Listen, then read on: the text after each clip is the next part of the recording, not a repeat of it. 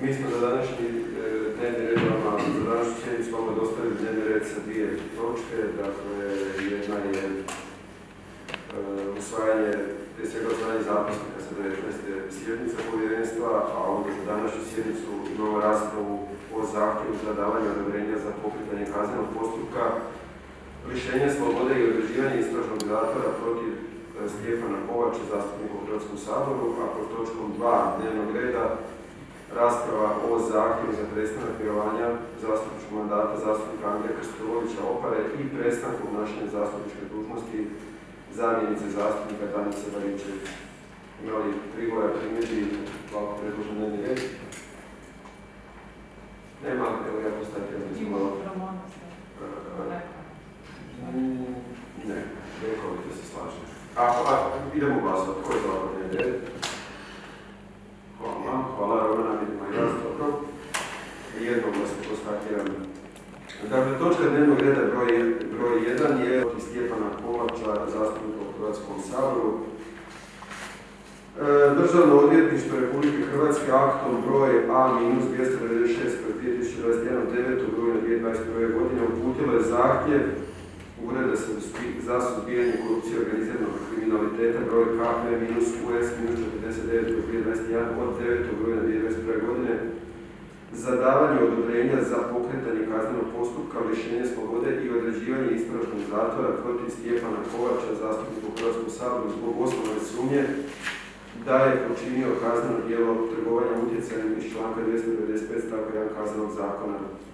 Stjepan Kovač, zastupnik iz 10. saziva Hrvatskog sabora, te na temelju članka 76 Ustava Republike Hrvatske članka 23 Poslovnika Sabora ima imunitet do prestanka zastupničkog mandata, te bez odluke Hrvatskog sabora ne može biti pritvoren, niti se može pokrenuti kazneni postupak.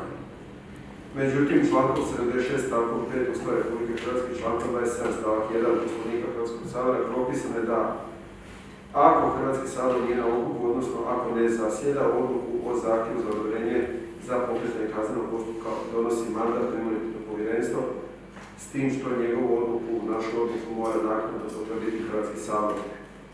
USKOK je na temelju posebnih dokaznih radnji i prikupljene dokumentacije u svom zahtjevu naveo da postoji osnovana sumnja da je Stjepan Kovač počinio kazneno djelo trgovanja utjecaja iz članka 295 stavak 1 kaznenog zakona koristiti svoje autorite gradonačelnika grada Čakovca, insinuirajući prijetnje kako bi doznao identitet osobe internetske stranice stjepankotac.icu.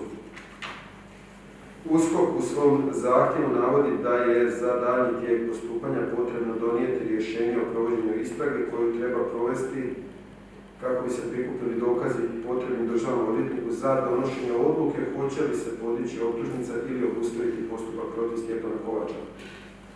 Sukladno odredbi članka 197 stavak 2 ZKP-a, ovlašteni državni odvjetnik ne može donijeti rješenje o provođenju istrage ako ne podnese dokaz da dano odobrenje za uvođenje kaznenog postupka od strane Hrvatskog sabora sukladno članku 76 stavak 3 Ustava Republike Hrvatske.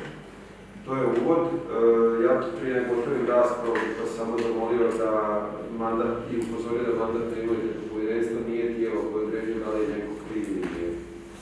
Mi određujemo da li ćemo dati suglasnost nadležnom državnom tijelu da provodi istragu, odnosno kako oni kažu, da dakle, odluče hoće li se podići optužnica ili obustaviti postupak protiv Stjepana Da damo odobrenje za pokretanje kaznenog postupka protiv zastupnika Stjepana Kovača, budući zahtjev podnijelo državno odvjetništvo.